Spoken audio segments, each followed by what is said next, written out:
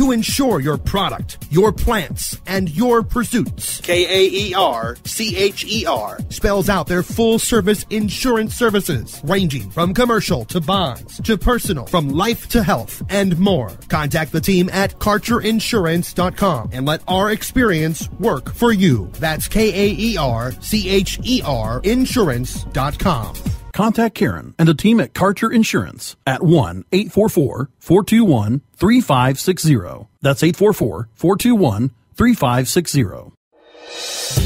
It's time to check in with Doc Rob and the concierge for better living. We take a real, raw, inside look at healthier living while sharing great ideas and improvements for a better quality of life. The Concierge for Better Living will help informed, intrigued, and interested listeners like you make better choices for yourselves and your loved ones. The Concierge for Better Living with Doc Rob. Only on CannabisRadio.com.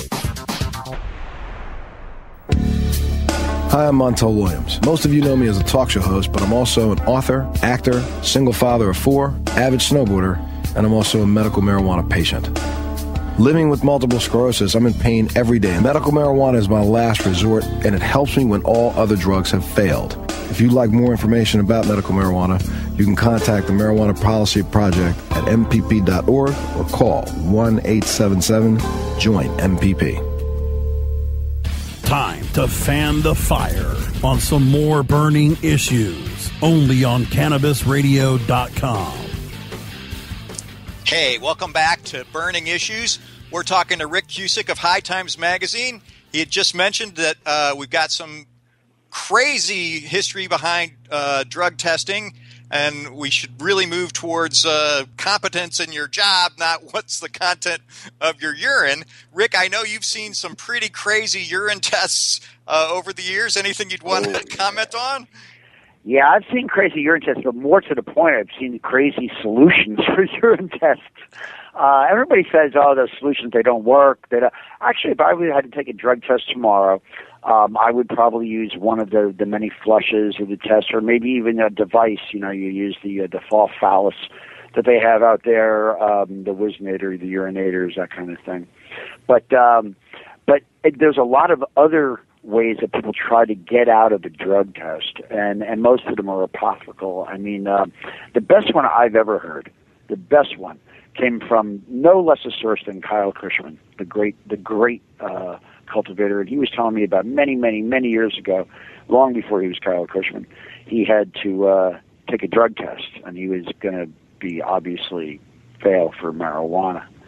So what he did was he took a little bit of powdered bleach and he put it inside the tip of his finger. And then when he took his gave his sample, and he was ex, and putting out urine, he put his finger in the stream, and the powdered bleach screwed up the uh, the test. And it, did, it didn't. It did. It didn't make it. Uh, it didn't make it passable, but it made it. Uh, he'd have to do it again. It brought him some time. Crazy but, steps you know. Yeah, I mean, uh, these days they're both they're very sophisticated with their flawed testing, and we're very sophisticated with our flawed with our our good solutions. So, um, as I would say, uh, if you are in a workplace drug test and you need to get out of your workplace drug test, the best thing for you to do is abstinence. That's the first thing. Okay, and but but if you're a heavy marijuana smoker, if you're a little bit heavy set or something, it stays in the fat cells of your body. It could be in your system for two, three, up to four weeks, maybe even more.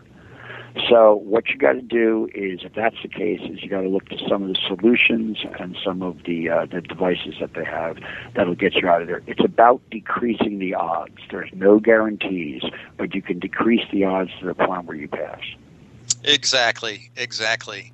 Hey, you mentioned your daughter's birth, and I know she's a teenager now, and that's got to be Oh. pretty wild. Anything you'd like to say about cannabis? Uh, yeah, what a ride. Uh, she's um, she's going to be 18 in three months, and uh, she's graduating high school next month. And my daughter, I've been at High Times uh, for those of you paying close attention for 18 years. My daughter is 18 years old, so I've never been a dad, but that I've worked at High Times. And I've never been at high times, but that I've been a dad. And to put an even weirder twist on it is I raised her pretty much by myself, so it's just been me and her and marijuana. and so I told my daughter really early in the game what was happening. I told her uh, the truth about what I did for a living, knowing she would find out anyway. And I, to be honest with you, I wasn't sure that was a good idea. I, I, I felt it was my best, my best choice. It was not lying to her. And actually, by telling her the truth about marijuana at a younger age, telling her what I believed, and telling her that I wasn't supposed to tell her this, but I didn't want to lie to her. What I happened was I got an extra layer of honesty created between us. She suddenly knew that, you know, me telling the truth to her was important, and that I was willing to take a chance at telling her the truth. And and that closeness, that extra level of honesty, has remained intact right up to today.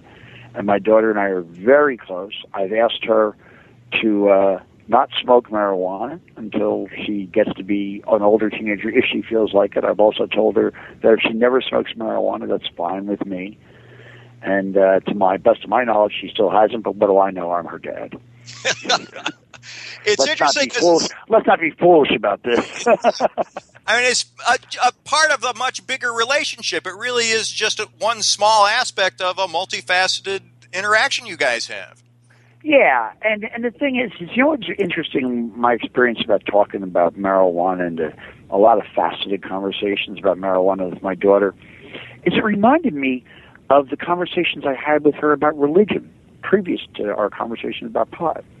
I mean, it, it was if, if you're talking about something that somebody, some people believe in, and some people don't believe in, and some people think is is wonderful, and some people think is you know pernicious and and damaging, and if you're talking about something that people can argue about you know passionately and never come to a conclusion, am I talking about pot or am I talking about religion? or guns. Yeah, or guns, absolutely, or guns. Another thing that I found, another set of uh, of um, par- parallels I found in the marijuana conversation, and uh, and it's funny, you know, talking about marijuana with my daughter has helped me talk to her about religion and has helped me talk to me about guns. Um, no surprise, uh, she she's not very much of a gun person. She didn't grow up in a gun household, but also I I had conversations with her. I said, you know, we have to be open to other people's viewpoints because I'm asking other people who don't know about what I'm talking about to be open to my viewpoint. Oh, what and a great lesson, Rick. That's really super. I, I think that there's a lesson there for all of us. You know, we really have to be open to what we don't agree with. Exactly. Hey, I know you remember the days of hemp times, and I feel like I we do. all thought hemp was going to sort of be our path that kind of medical marijuana took. Do you Yep. have any views on that? Wow, what a great question. I never get asked that question anymore, and I really like that question. Um, you know, it's true. Back in the 90s, there was a small renaissance of hemp, but um, even back then, I felt uh, I, I'm in the business department at High Times. Even back then, I felt as a businessman that until we got a domestic crop, that you, the hemp industry was not going to take off because you had to import every you know piece of hemp that you had in the country from China or from Soviet, former Soviet bloc countries, and uh, that put an extra financial burden on the whole thing. And so, getting a domestic crop was the goal. We didn't get it back then, and, and hemp kind of died on the vine, so to speak. But now, um, in the past couple of years, they've legalized marijuana. Uh, most sexily, most sexy is the is the uh, legalized marijuana, recreational marijuana, and medical marijuana business. And there are fortunes being made right now, of course. So all those guys went to that right away because it was where the action was.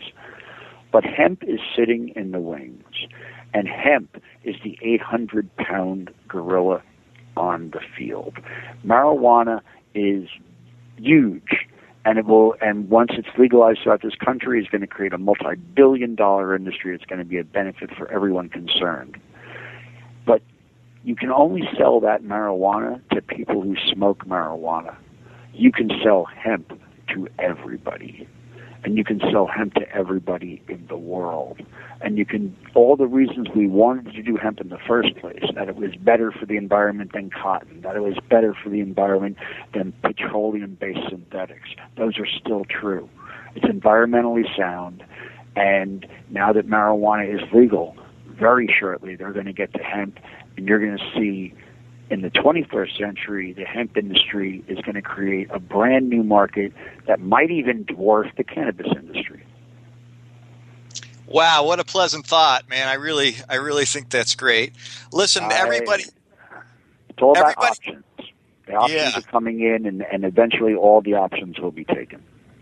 Everybody knows you must meet some of the coolest people in the world in your job. Are there any sort of celebrity gossip things you'd be comfortable telling us about, or good? Ah, celebrity gossip. I don't know. I um, I I'm really glad if the uh, uh, last issue of High Times had my interview with Whoopi Goldberg, and uh, I met Whoopi Goldberg recently, and she was uh, actually lives near my house.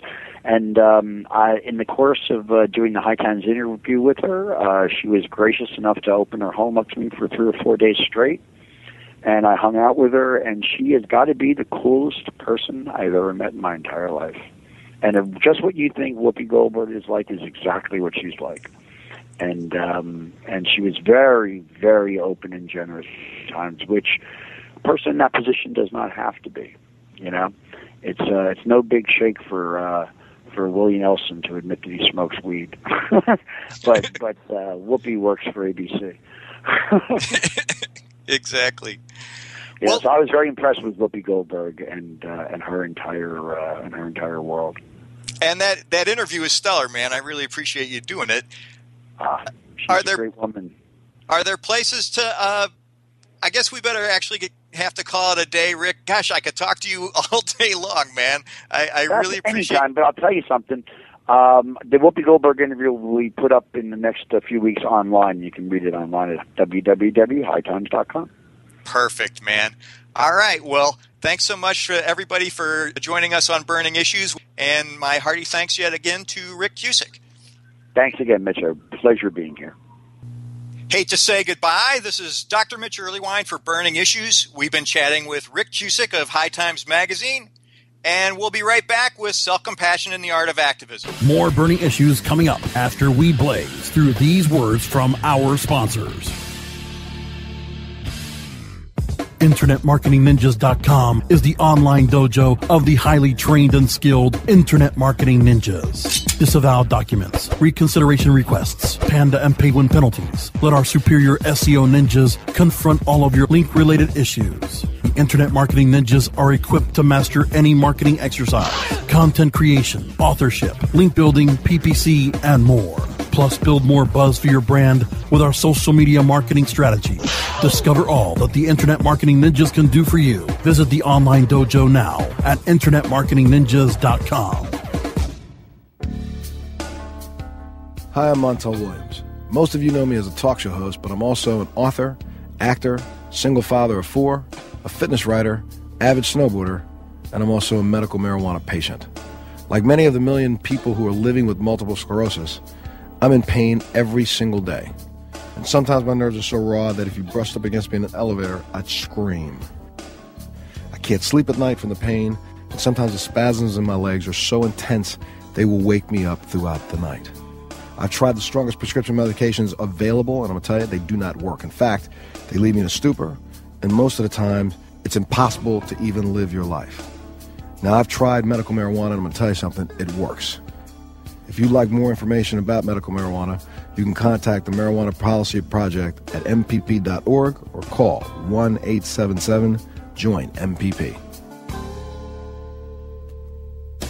Cannabis commerce continues to cultivate new markets for adventurous entrepreneurs. CannabisRadio.com welcomes the adventurous to Cannabis and Commerce. Presented by GreenBiz.com. This show brings together cannabis entrepreneurs and industry experts to discuss today's important cannabis issues. Our discussions will chronicle the challenges faced by cannabis owners and the battle surrounding cannabis nationwide. Cannabis and Commerce. On demand anytime, only on CannabisRadio.com. Time to fan the fire on some more burning issues only on CannabisRadio.com. And we're back. Thanks for joining us on Burning Issues. Time for self compassion and the art of activism.